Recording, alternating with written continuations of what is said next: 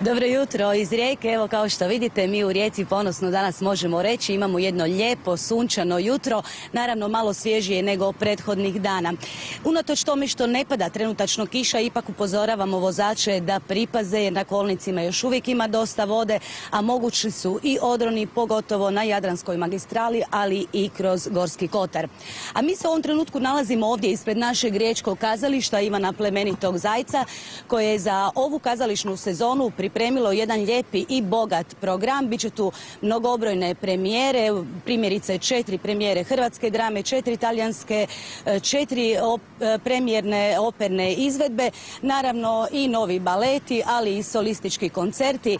Za sve one koji su do sada imali kazališnu pretplatu, oni ju mogu obnoviti do 16. ovoga mjeseca, a za nove pretplatnike od 17. do 28.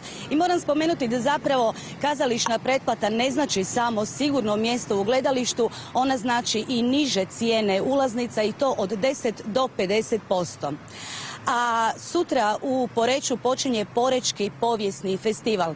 250 kostimiranih sudionika na nekoliko gradskih lokacija pokazat će posjetiteljima kako se živjelo u doba baroka.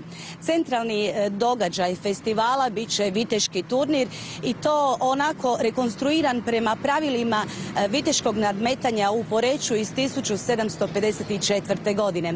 I evo vikend je pred nama sa mnogobrojnim događanjima. Nadamo se da će nas vrijeme poslužiti, a mi izdvajamo primjerice e, akciju e, Haka i prometne policije e, koja će se održati sutra i to na Korzu s početkom u 11 sati. Pozivamo one najmlađe riječane od 3 do 8 godina da dođu sa svojim roditeljima i donesu bicikle, romobile, role, što god imaju jer će naučiti kako se sigurno kretati u prometu. Eto toliko u ovom javljanju, a u našem idućem javljanju mi ćemo govoriti o jednom velikom regionalnom susretu motociklista Kro Vespa. Pogađate, riječ je o Vespama. Do tada pozdrav. Dobro jutro još jednom iz Rijeke. Evo ovdje nalazimo se u Riječkoj Luci. Ja sam u društvu velikog broja i motora, i to Vespi, ali i Vespista, kako ih nazivaju. I nećete vjerovat, sjedim po prvi put u životu na Vespi i to na Vespi gotovo 50 godina staroj.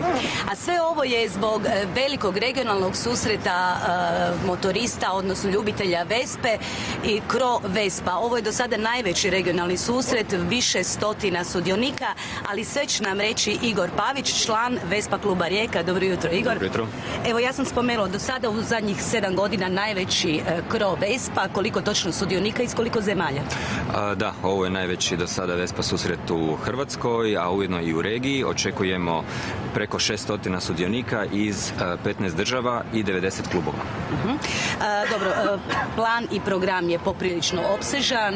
Cijeli vikend bit ćete na području Rijeke. Gdje sve?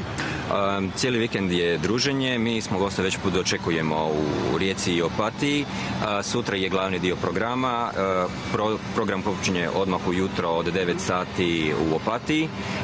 Krećemo prema Riječkom korzu oko 10.30, u 11 smo na Riječkom korzu, zadržavamo se sat vremena, nastavljamo dalje prema Bakru, tamo smo uru vremena i onda se iz Bakra oko 1.30 vraćamo na Trsat. Dobro, što je to što zapravo tjera ljude da i dalje voze Vespu, iako su ih u jednom periodu, čini mi se, ipak bili potisnuli skuteri? Vespa je poseban motor. Ljudi koji počnu voziti Vespu uglavnom, bez obzira da li kroz život kupuju i druge motore ili odustanu na neko vrijeme od motora, u nekom životnom dobu ponovo kupe Vespu i nastave se, Vespu, e, nastave se voziti sa Vespom. Uh, je li ona sigurna s obzirom da nekako postoje predrasude zbog ovih malih kotača da je ne Sigurno, mislim, to je kao i svaki motor e, veća je opasnost od pada ili bilo čega nego što je sigurnost ono drugih vozila. Ali Vespa je u pravilu siguran motor, posebno moderne Vespe gdje je ta i balansiranost motora i mašina i sve I čula sam laka za održavanje. Apsolutno. Sami možete raditi Ništa, možete i to, ali nemate šta. Registrirate je, odvedete je na servis jedan put godišnje i to je to. To je to. Samo vozite, uživajte. E, evo, e, s nama su ovdje, jutro su stigli ovi silni dečki koje vidite ovdje, to su naši spličani. E, Dobro jutro, Ante. Evo, vi ste član, odnosno predsjednik Vespa kluba Split. Kako je u Splitu? Koliko, je, koliko vas je u klubu? Pa ima nas, e, dva- imamo, brojimo 27 članova. Evo stigli smo jutro s trajektom, malo zbog vremenskih neprilika smo iskoristili tu beneficije e, i, i slobodni petak smo morali dobiti. E, i očekujemo još naših šest članova uz Koliko vas je danas u Rijeci? 11 i još ovih šest, znači 17 posjetitelja od 27, što je super posjećenost našeg kluba. E, Vozili se puno Vespi u Splitu? U odnosu Pa- na prije. Pa vozi se, bude se. Evo ja sam svoju sredio ove godine i, ovako je sa zadovoljstvom je pokazujem. To je ova na kojoj ja sjedim, da. I s njom sam odvozio lani umak, bio sam u, u, na svjetskim danima Vespe u Mantovi. E, voze ljudi ih sve više cijene jer e, i oni su jedan bez, bez, e, bezvremenski proizvod. Čula sam da je nekada u Splitu svaki portun imao Vespu, danas nažalost to nije tako, ali evo nadam se da će se situacija e, popraviti.